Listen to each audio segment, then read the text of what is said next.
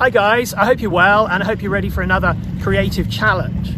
Now today's challenge is to tell me what an ordinary day feels like aboard your ship.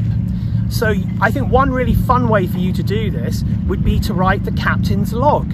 So what happens through the day, hour by hour, from the point of view of the captain? When are the captain's briefings?